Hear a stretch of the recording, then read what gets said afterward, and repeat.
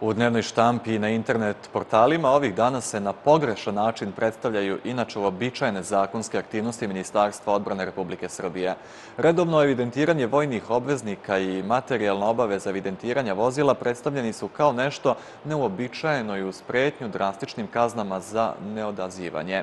Istraživali smo da li je sve to baš tako.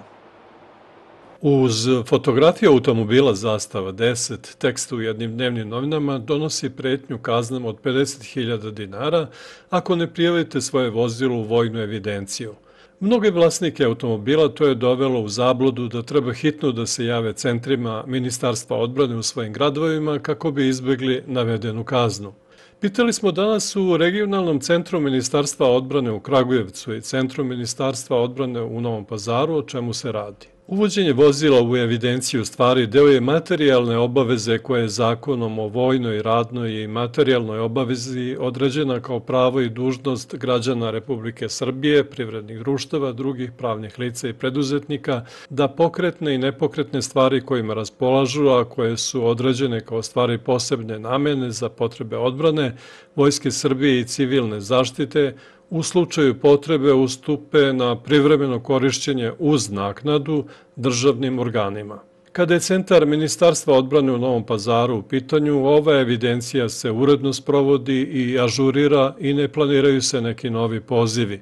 Pogotovo nema potrebe da se svi vlasnici vozila javljaju radi evidencije.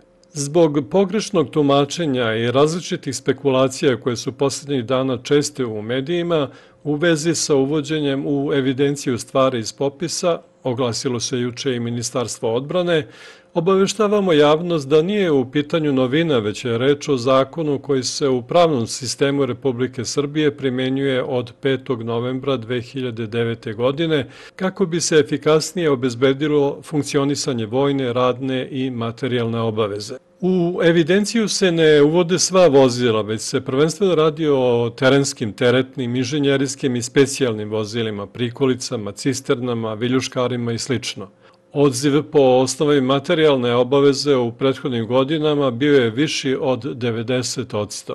Pozivanje vlasnika stvari iz popisa nije povezano sa uvođenjem vojnih obveznika rođenih 1999. godine u vojnu evidenciju, a jedini zajednički imenitelj im je zakon o vojnoj, radnoj i materijalnoj obavezi kojim su pravno uređeni, stoji u saopštenju Ministarstva odbrane.